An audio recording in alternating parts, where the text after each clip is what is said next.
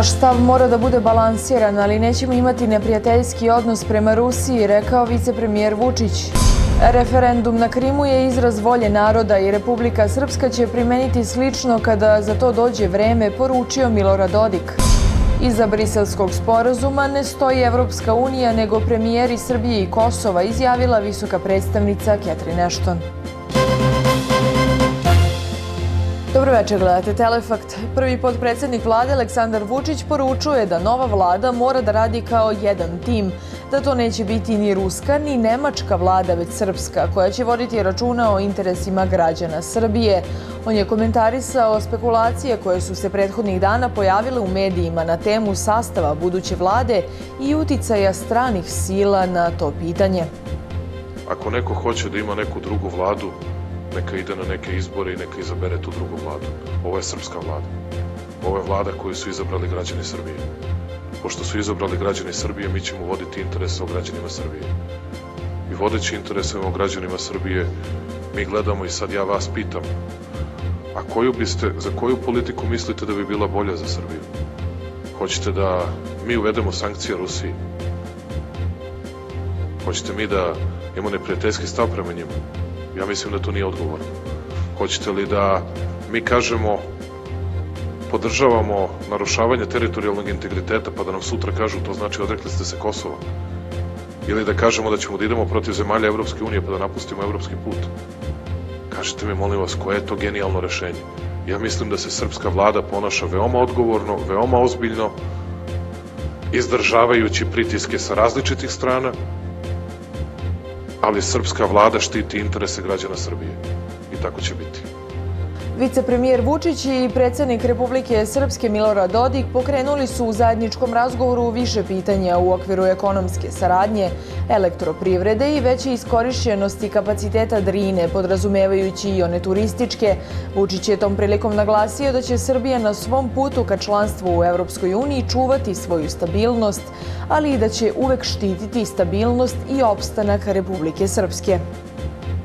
Republika Srbija i građani Republike Srbije imaju naravno poseban odnos prema Republici Srpskoj, ali da Republika Srbija ni na koji način neće narušavati teritorijalni integritet Bosne i Hercegovine i mi poštujemo celovitost Bosne i Hercegovine, a ne moram da govorim o našim i o emocijama ljudi u Republici Srpskoj, ali odgovorno, ozbiljno i, rekao bih, državotvorno naše ponašanje neće biti dovedeno u pitanje. Dodik je poručio da Republiku Srpsku interesuje moćna i jaka Srbija, ističući da je sada ona dobila i moćnu vlast i institucije koje se neće trošiti na pitanja stalnih političkih prepucavanja.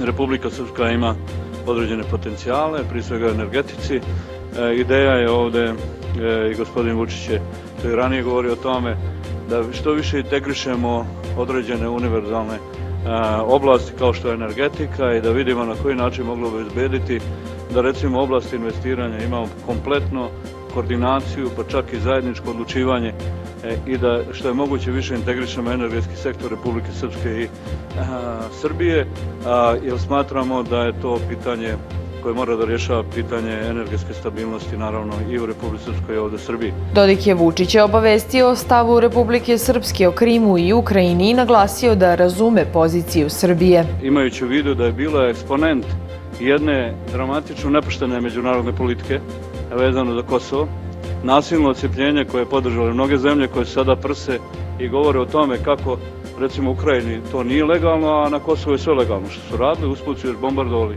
i Srbiju i srpski narod u cijelini i u Republike Srpskoj i ovde. A, I e, ugrožavanje teritorijalnog integriteta nije im smetalo ovde da u Srbiji to podrže, a kada je u pitanju Krim koji je istorijski gledano pripadao Rusiji ranije. Predsjednik Republike Srpske smatra da je referendum na Krimu demokratski izraz volje naroda. To treba poštovati, on je legitiman i legalan, zaključio je on. Podpredsednica Srpske napredne stranke Zorana Mihajlović rekla je da će Srbija svoju vladu birati sama na osnovu izborne volje građana i da na to uticaj neće imati moćne sile. Ona je napomenula da se očekuje da razgovori o formiranju nove vlade startuju početkom naredne sedmice, ali da će pre njihovog početka biti održane sednice predsedništva i glavnog odbora SNS, na kojima će do kraja biti definisan program koji će biti ponuđen budućim koalicijonim partnerima.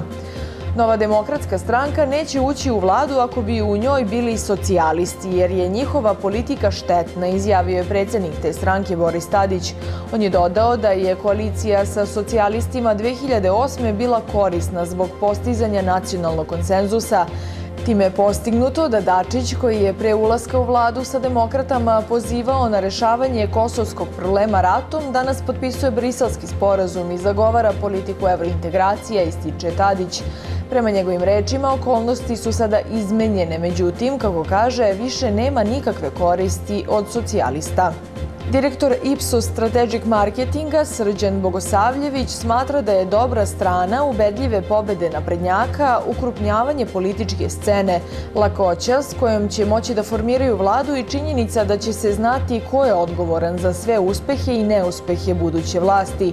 Sva krivica i sva zasluga pašće na SNS i Aleksandra Vučića i u tom smislu oni imaju luksuznu situaciju, ne zavise apsolutno ni od koga i zato će uraditi upravo ono što su i najavili, pozvaće na razgovor apsolutno sve, smatra Bogosavljević. On ocenjuje da bi ulazak socijalista u vladu bio zgodan zbog međunarodnih relacija, pogotovo sa Rusima, ali da lično misli da bi SNS-u najviše odgovarala nova demokratska stranka Borisa Tadića. Više od 5000 ljudi okupilo se na proruskom mitingu u Donjecku na istoku Ukrajine tražeći održavanje referenduma poput onog na Krimu. Demonstranti su podigli nekoliko šatora kao ironični eho masovnog protestnog kampa uspostavljenog na centralnom Kijevskom trgu kada su u novembru počele demonstracije protiv smenjenog predsednika Viktora Janukovića. Umeđu vremenu, ruske snage ušle su oklopnim vozilima u ukrajinsku avionsku bazu Belbek u blizini blizini iz Sevastopolja i preuzele kontrolu nad jednom ukrajinskom podmornicom na Krimu Zaporožje. Iza briselskog sporazuma ne stoji Evropska unija, nego premijeri Srbije i Kosova, rekla je visoka predstavnica Evropske unije za spoljnu politiku i bezbednost Catherine Ashton. Ona je izjavila da je ključna stvar za postizanje sporazuma bila što su obe strane uvidele da status quo nikom ne koristi, ali da im je ona samo pomogla da nađu zajedničko rešenje, kao i što je podrška za početak dijaloga na visokom nivou dobijena i iz Beograda i iz Prištine. Ashton je istovremeno naglasila da niko nikad nije tražio da Srbija prizna Kosovo, niti od Kosova da se odrekne nezavisnosti. Odluka o izmeni odluke o radnom vremenu za nadstva i trgovine na teritoriji grada Beograda usvojene je na sednici privremenog organa i predviđa određivanje i isticanje radnog vremena kao i zabranu uznemiravanja građana uz novčane kazne za nepoštovanje pravila. Kazne se kreću od 10 do 750 hiljada dinara, a sankcije su predviđene iako se u trgovinama ne pridržava ograničenja prodaje alkoholnih pića od 22 sata do 6 sati ujutru, objavljeno je na sajtu gradske uprave.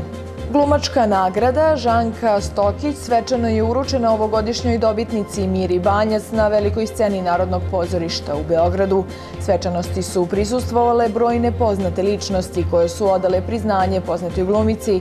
Banjac je primajući nagradu rekla da je to priznanje afirmaciji života istakavši da je život pozorište koje traje, da je ono nezaustavljiva reka i potreba jednog naroda. Nagradu, koja nosi ime velike srpske glumice iz prve polovine 20. veka, dodelili su po 12. put Narodno pozorište, kompanije Novosti i grad Požarevac. I na kraju Telefakta da pogledamo vremensku prognozu za drugi dan vikenda.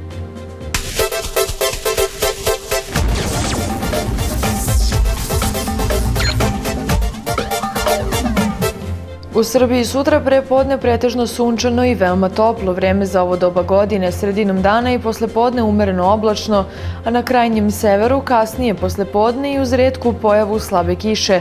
Duvaće umeren do pojačan južni i jugozapadni vetar, minimalna temperatura od 4 do 8, na jugu Banata do 14 stepeni, maksimalno dnevno od 20 do 25 stepeni.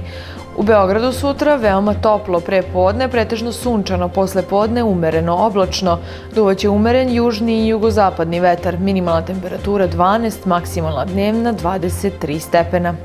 Gledali ste Telefakt, za više informacija posetite naš sajt bktvnews.com. Prijetno večer.